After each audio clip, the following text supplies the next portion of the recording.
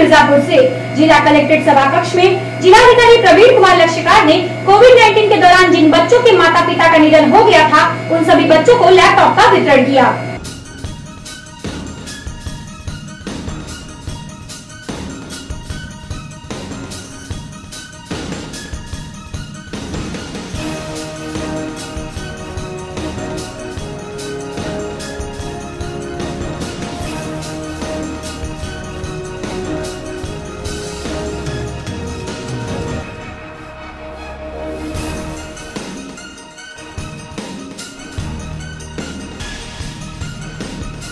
आज मुख्यमंत्री बाल सेवा योजना कोविड, इसके तहत हमारे यहाँ 61 बच्चे जिन्हें इसका लाभ दिया जा रहा है।